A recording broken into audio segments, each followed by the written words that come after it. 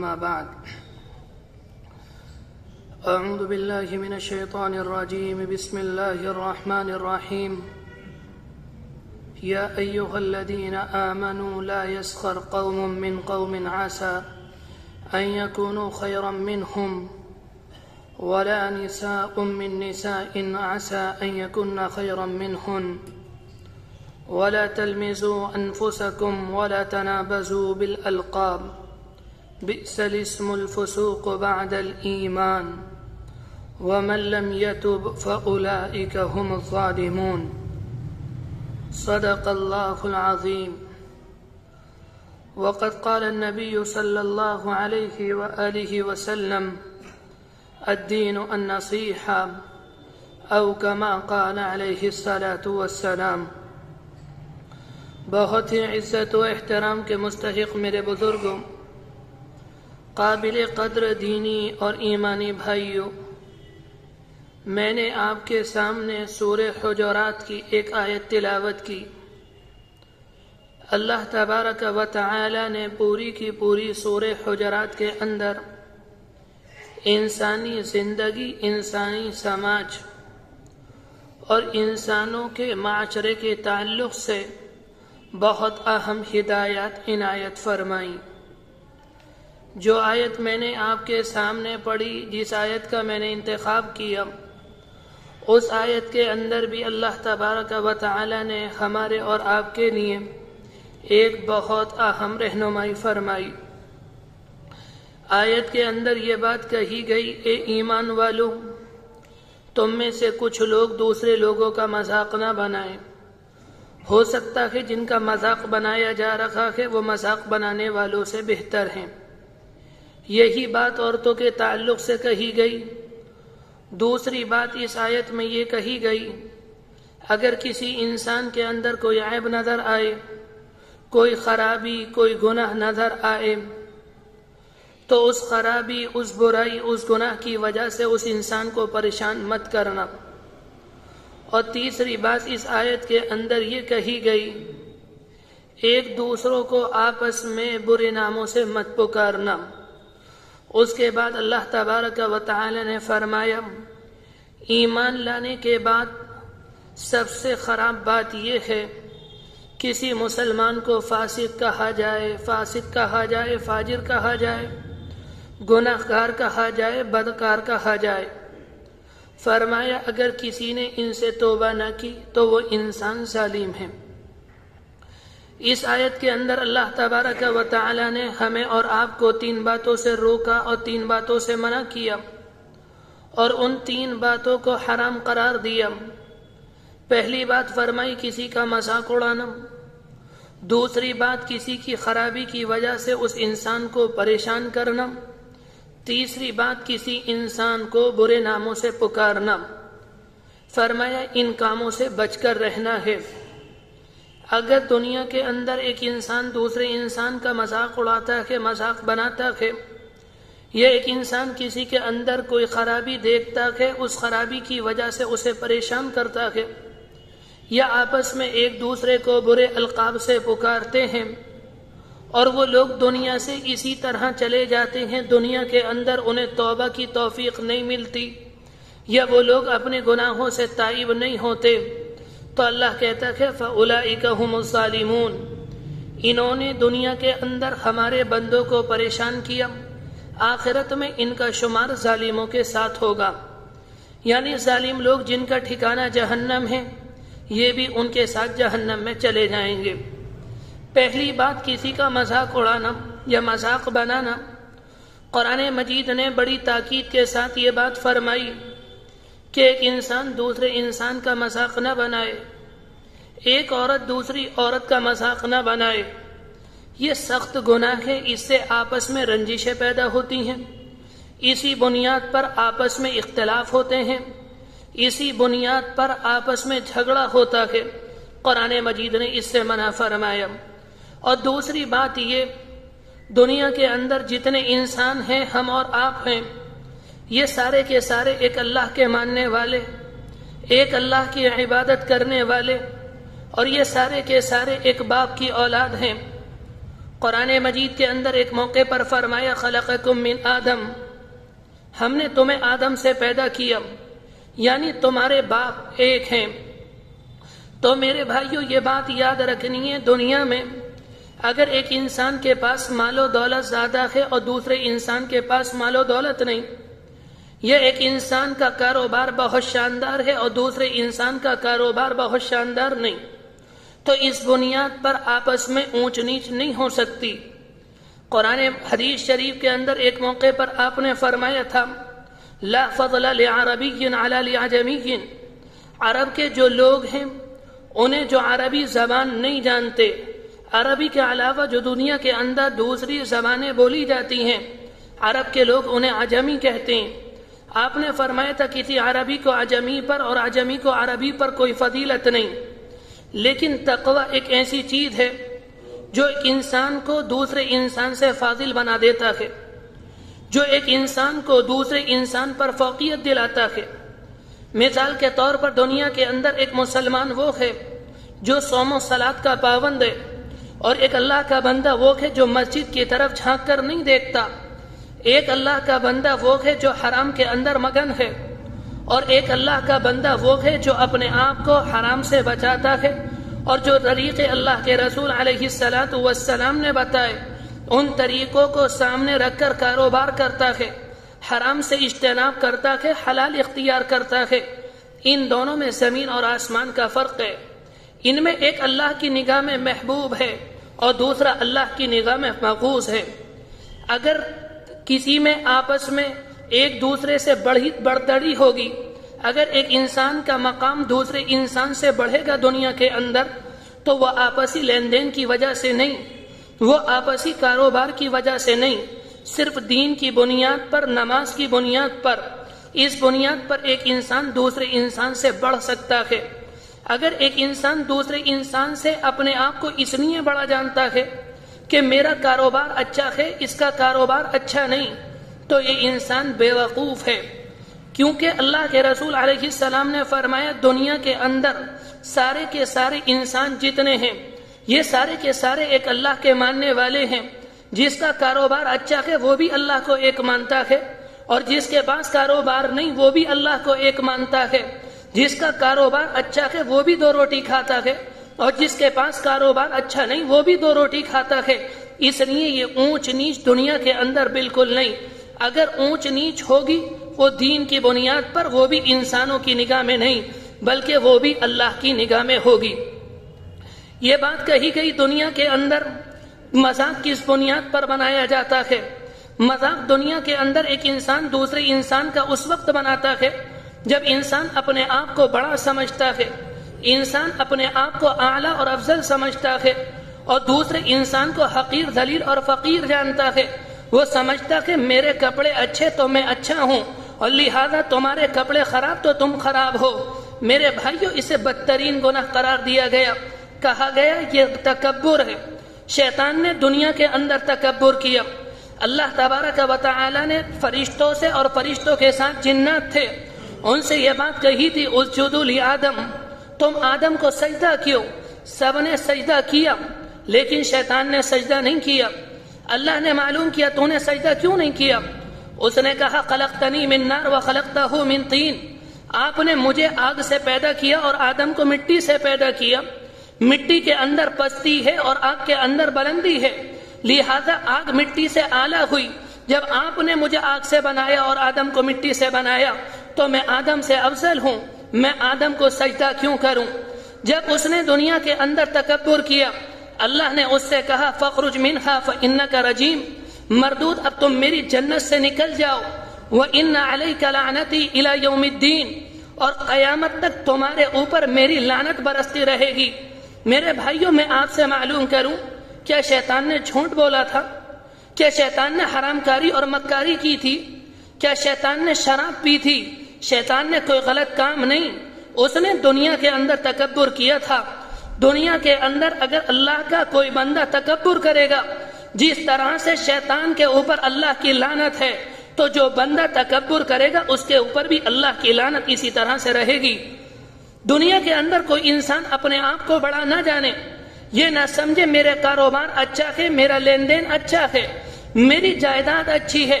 मेरे भाइयों, याद रखना, दुनिया के अंदर अगर किसी को कोई चीज़ मिलती है, वो भी अल्लाह की तरफ़ से मिलती है।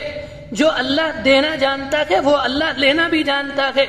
और कुरान मजीद के अंदर अल्लाह तबारक व ताला अपने बंदों को बड़े प्यार के साथ समझाता है। मेरे बंदो, जरा ये तो बताओ इस सूरज के निकालने वाले हम हैं या तुम हो?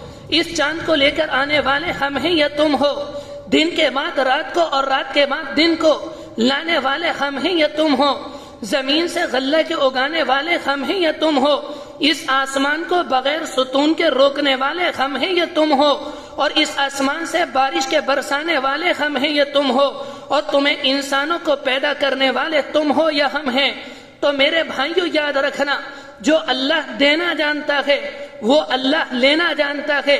इंसान अपने आप को बड़ा न समझे, दूसरे इंसान को हकीर न जाने, बल्कि आपके संबल के अंदर कितने लोग ऐसे थे, हमने भी उन्हें अपनी आँखों से देखा, जिनके बारे में ये बात कही जाती थी, उनकी जायदादें काफ़ी थी, उनके मकानात बहुत थे, उनकी खेती बाड़ी बहुत अच्छी थी, उनके बारे में ये बात कही जाती थी, अगर ये हाथ पर हाथ रख कर बैठ जाएँ और अपने कारोबार को बंद कर दें तो इनकी आराम से सात पुश्ते खाएँगी।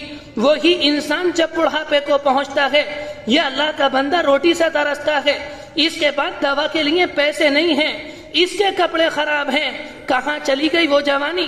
कहाँ चली गई वो खेती? मेरे भाइयों, इसलिए मैं ये तो नहीं कहता कि उन्होंने अपनी जबान से तकबर के अल्फाज बोले। मैं उधर नहीं जाता, लेकिन मैं आपसे ज़रूर कहता हूँ अगर किसी को कोई नेमत मिली हुई है, अगर किसी का कारोबार बहुत शानदार है, किसी का मकान बहुत अच्छा है, वो अपने आप को बड़ा न समझे और अगर किसी के पास मकान नहीं, वो उसे जलील न जाने। हदीस शरीफ के अंदर आता है, अगर किसी बंदे को अल्लाह ने नेमतें दी हैं और अपने बंदों को नेमतों से नवाजा है। और वो अल्लाह का बंदा अल्लाह का शुक्र अदा करता है। अल्लाह बंदे से खुश होता है और बंदे की नेमतों में इजाफा करता है। मेरे भाइयों, यहाँ एक परेशानी ये आती है। भाई दोस्त, आकर मालूम करते हैं, हम अल्लाह का शुक्र किस तरह से अदा करें। कुर्बान जाए अल्लाह के रसूल सलाम पर और उन सहाबा इकराम पर। जो बात आज मेरे जहनों में आती है, वो सहाबा इकराम के जहनों में आई और उन्होंने अल्लाह के रसूल से सवाल किया और अल्लाह के रसूल सलाम के उन्होंने जवाब दिए। आपने फरमाया, अल्लाह का शुक्र अदा करना कोई मुश्किल काम नहीं। दुनिया के अंदर सबसे आसान काम अल्लाह का शुक्र अदा करना है। आपने साहबा इकराम को इस तरह से समझाया, जब तुम्हारे सामने खाना आए तो खाना सीधे हाथ से खाना, अपने हाथ सामने से खाना, बिस्मिल्लाह पढ़कर खाना खाना। जब एक लुकमा उतरकर तुम्हारे पेट में चला जाए उसके बाद अल्हम्दुलिल्लाह कहना, सीधे हाथ से पानी पीना बिस्मिल्लाह पढ़कर पानी पीना और जब पानी का एक घूंट तुम्हारे पेट में चला जाए उसके बाद अल्हम्दुलिल्लाह कहना, जब तुम कपड़े पहनने का तुम्हारा मौका आए तो सीधी तरफ़ से पहनना और बिस्मिल्लाह पढ़कर पहनना और जब तुम कपड़े पहन लो तो उसके बाद अल्हम्दुलिल्लाह कह देना, ये शुक्र है जो अल्लाह की नेमतों को इस्तेमाल करता है। उसके बाद सिर्फ़ अल्हम्दुलिल्लाह कहता है, गोया उसने अल्लाह की नेमतों का शुक्र अदा कर दिया। और कुरान मजीद के अंदर अल्लाह तबारक व ताला फरमाता है ल इन शकर तुम लजीदन्नकुम ए मेरे बंदो, अगर तुम मेरा शुक्र अदा करोगे ल मैं तुम्हारी नेमतों में इजाफा करूँगा। मेरे भाइयों, हम और आप ये समझते हैं, हम गुनाह करते और कुछ नहीं हुआ। हम ये समझते हमने बदनिगाही की। हमने गलत खा लिया और हमने गलत देख लिया। किसी ने हमारे साथ कोई नहीं किया। अल्लाह के रसूल सलाम ने यह बात इरशाद फरमाई थी। आप इस बातों को अपने जहनों में बिठा लें। इस जमाने में लोग आकर कारोबार की शिकायत करते हैं। आपने ये बात फरमाई थी। अल्लाह की तरफ़ से बंदों के लिए रिस्क का फैसला हो जाता है। अभी वो रिस्क बंदे को नहीं मिलता। बंदा एक ऐसा गुना करता है, अल्लाह को उस गुना से इतनी नफरत होती है, जो जिस रिस्क का अल्लाह ने बंदे के लिए फैसला किया होता है, अल्लाह उस बंदे को उस रिस्क से महरूम कर देता है।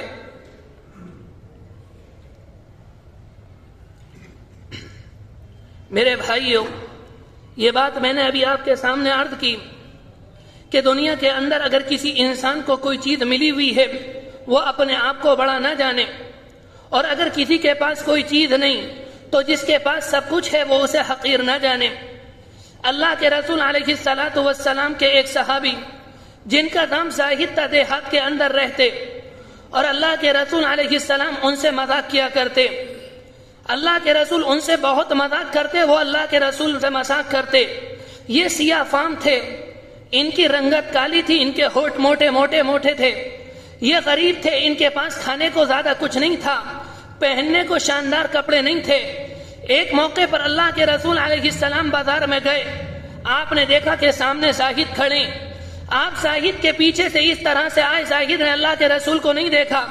और आने के बाद आपने साहिद की आँखें बंद की और आपने ये आवाज़ लगाई, कौन है जो मुझसे इस गुलाम को खरीदेगा? शुरू में साहिद डर गए। वो घबरा गए, पता नहीं मुझे किसने अगवा कर लिया? पता नहीं मुझे किसने गिरफ़्तार कर लिया। अब कौन है जो मुझे गुलाम बनाकर बेचेगा? जब उन्होंने इस आवाज़ पर ध्यान लगाया, उनकी समझ में आया ये अल्लाह के रसूल सलाम की आवाज़ है। उन्होंने अपने जिस्म को अल्लाह के रसूल के करीब किया और उसके बाद बड़े प्यार से यह बात कही, ए अल्लाह के रसूल, मैं काला हूँ, मेरे होठ मोटे हैं, दुनिया में मेरी कोई कदर नहीं। अगर आप इस गुलाम को बेचेंगे, इस गुलाम की आपको कौन क्या कीमत देगा? उस मौके पर आपने यह बात फरमाई, जाहिद तुम नमाज़ पढ़ते हो, जाहिद तुम रोज़े रखते हो, जाहिद तुम कुरान मजीद की तिलावत करते हो, जाहिद तुम मेरी सुन्नतों पर अमल करते हो, जाहिद तुम मुझसे मोहब्बत करते हो, लाकिन इंदल्ला की लस्ता बिकासिर दुनिया की निगाह में तुम्हारी कोई कीमत ना हो, मगर याद रखना, अल्लाह की निगाह में तुम्हारी बहुत बड़ी कीमत है। मेरे भाइयों, जाहिद ने रोज़े रखे जाहिद ने अल्लाह के रसूल से मोहब्बत की? तो अल्लाह के रसूल सलाम ने उन्हें ये खुशखबरी सुनाई, ये रजब का महीना है। अल्लाह के रसूल सलाम के जमाने में रजब का महीना आता और काफ़ी मरतबा रजब का महीना आता। रजब के महीने से अल्लाह के रसूल रमज़ान की तैयारी करते। रजब के बाद शाबान आता है और शाबान के बाद रमज़ान आता है। आप ये दुआ फरमाते अल्लाह बारिक लना फ़ी रजब व शाबान वबल्लिगना इला रमज़ान।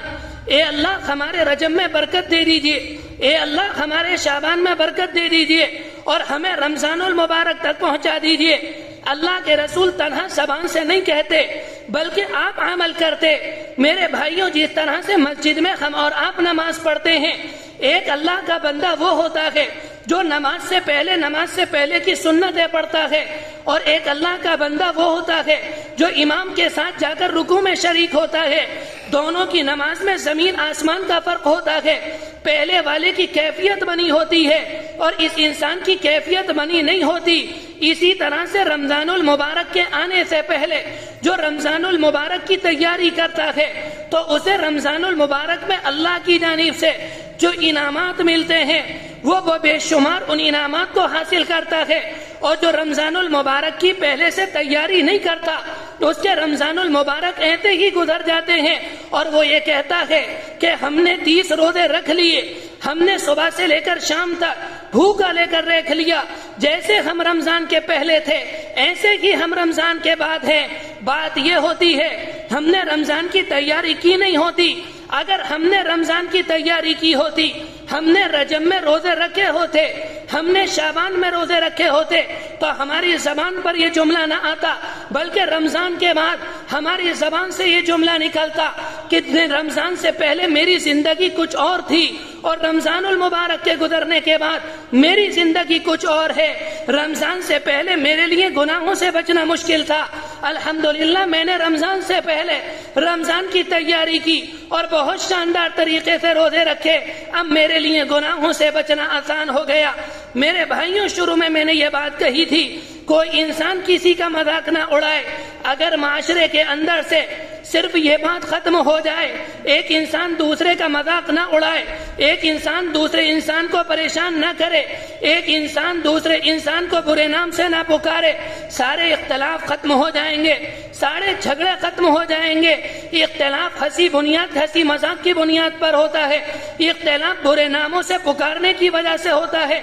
इख्तलाफ लोगों को परेशान करने की बुनियाद पर होता है। अगर हम चाहते हैं हमारे समाज में सुकून आ जाए, हमारे माशरे में अमन कायम हो जाए, हम किसी का मज़ाक न बनाए, हम किसी को ताना न दें, हम किसी को परेशान न करें। अगर हम इस तरह से ज़िंदगी गुजारेंगे इनशाला हमारे माहौल में, हमारे समाज में, हमारे शहर में अमन अमान कायम होगा। जो बात कही गई, अल्लाह तबारक व अमल करने की तोफीक नसीब फरमाए। वाखिर दावाना रब्बिल आलमीन।